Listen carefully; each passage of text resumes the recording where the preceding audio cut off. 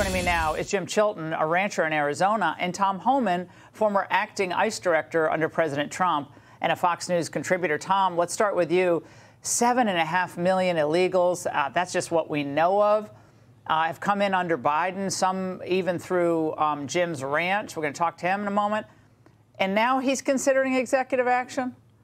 What's the first thing he would need to do to real prove his, really prove his bona fides?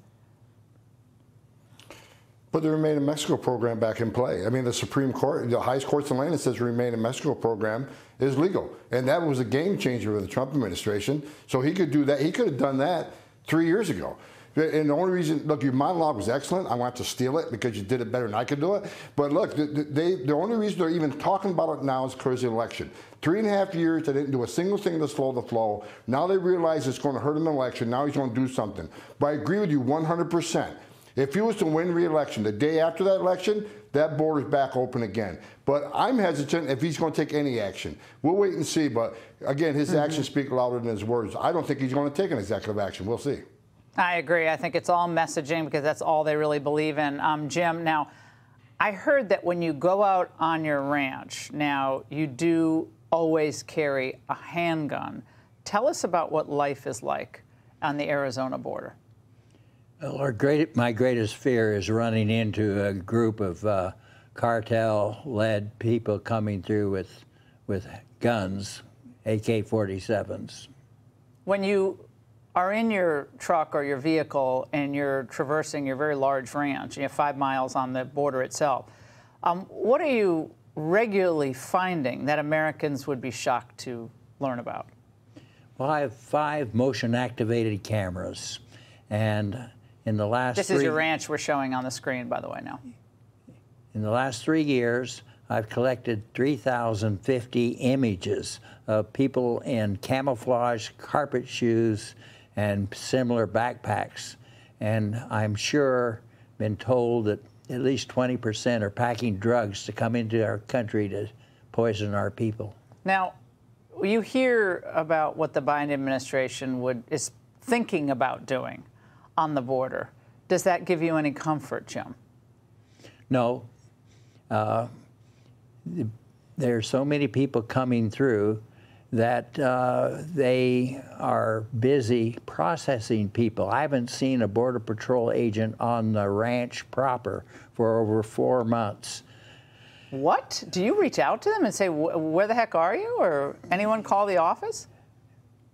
Essentially, the Border Patrol guys tell me they're nothing but taxi agents picking up people coming across the border and wanting to be apprehended, processed, and released into the country. now, that's a, the hole um, in the border uh, that actually is in your ranch. There's the fence, or the, whatever you want to call that, and then that's where they come through, usually? That's one spot, and then the end of the wall is on our ranch. Uh, it proceeded from Sasabe out uh, east, mm. east, and then on Biden's first day in office, he stopped it and they had a half a mile to go on my ranch. Oh, my goodness. Well, Tom, this is a heartbreak to hear. This is just one of many stories of people who own land at or near the border.